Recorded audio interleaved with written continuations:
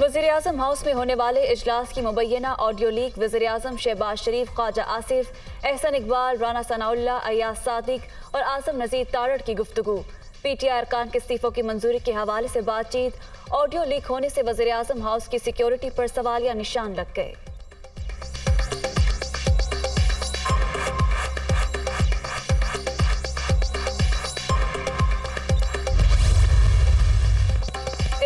डार को वज़ीर खजाना बनाने का फैसला अगले हफ़्ते हल्फ उठाएँगे। आज नून लीगी क्यादत के इजलास में मजीद मुशावरत होगी। अहम फैसले मुतव वजी अजम शहबाज शरीफ की। लंदन में नवाज़ शरीफ से मुलाकात, मुल्क की सियासी सूरत हाल पर बातचीत।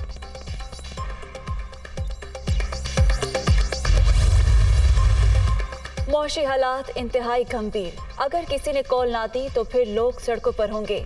सियासतदान आम आदमी के मसाल नहीं समझ रहे, सिर्फ़ मीडिया मीडिया खेल रहे हैं। वक्त का तकाजा है कि अना और जिद को छोड़कर साफ़ शफाफ इलेक्शन का फौरी फैसला किया जाए। सितंबर सितमगर है, अक्टूबर में अहम फैसले हो जाएँगे। शेख रशीद की पेशगोई।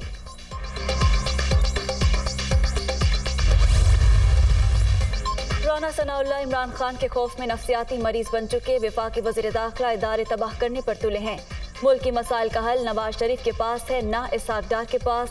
नए इंतबात ही मुल्क कौम को मौजूदा दलदल से निकाल सकते हैं।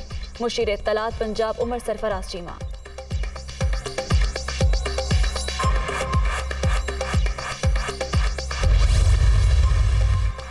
डेंगू के तेज़ी से फैलाव ने खतरे की घंटी बजा दी। कराची के इकतीस हॉस्पिटल्स के corona wards, dengue isolation boards में तब्दील। पंजाब खैबर पख्तूनख्वा और इस्लामाबाद में सूरत हाल बेकाबू होने लगी। सिला मुतासर इलाकों में ज़्यादा केसेस सामने आने लगे। बुखार या जिसम दर्द की सूरत में फौरी डेंगू टेस्ट कराएँ माहिरीन।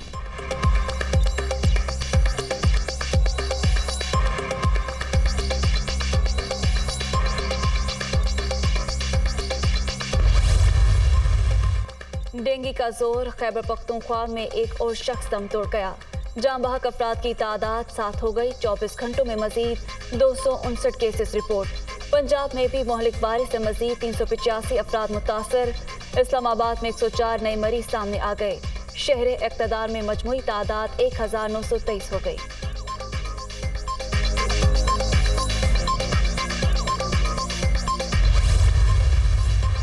वज़ीर के जेर सदारत सैलाबजदा इलाकों के हवाले से वीडियो लिंक इजलास, इमदादी कामों का जायजा, आलमी रहनुमाओं को सैलाब से तबाही और इमदादी और बहाली की कोशिशों के बारे में आगाह किया। आर्मी बराती और पाकिस्तानी इदारों की कोशिशों से मुश्किल वक्त से निकल आएँगे। शहबाज शरीफ को यकीन।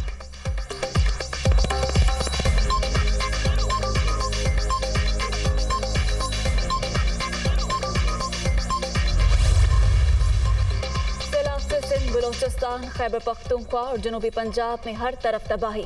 अक्सर मकाम पर कई कई फुट पानी मौजूद, ताफुन और वबाई अमराज फूट पड़े। अद्वियात की शदीद किल्लत, इलाज मुआलजे की सहूलतें भी ना होने के बराबर। बेघरी का दुख झेलते मुतासरीन नई मुसीबत से दो चार बेयारो मददगार।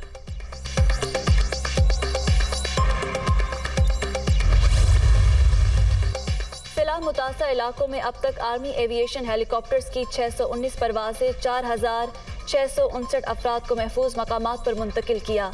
दस हज़ार एक सौ पचहत्तर टन गजाई, एक हज़ार सात सौ बत्तीस टन दीगर अशिया तकसीम की जा चुकी हैं N F R C C. सैलाब ने सिंध उजाड़ दिया जगह जगह अलमनाक मनाजिर। किसानों की जमा पूंजी लुट गई, गरीबों से छत छिन गई। लाखों अफराद भेगर रिलीफ कैंप्स और खुले आसमान तले टेरे मुतासरीन को किसी मसीहा का इंतज़ार।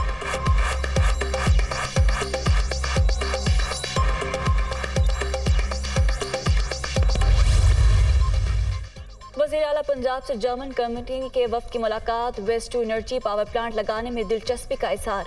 मौसमियाती तब्दीलियों के तनाजुर में माहौल दोस्त पावर प्लांट लगाना वक्त की ज़रूरत। ग्रीन फ़ील्ड पावर प्लांट से पंजाब को सस्ती बिजली मिलेगी, परवेज इलाही।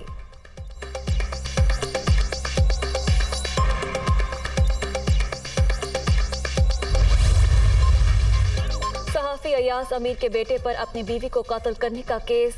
एनत जुर्म की दफ़ा के तहत गिरफ़्तार अयास अमीर एक रोज़ा जिसमानी रिमांड पर पुलिस के हवाले।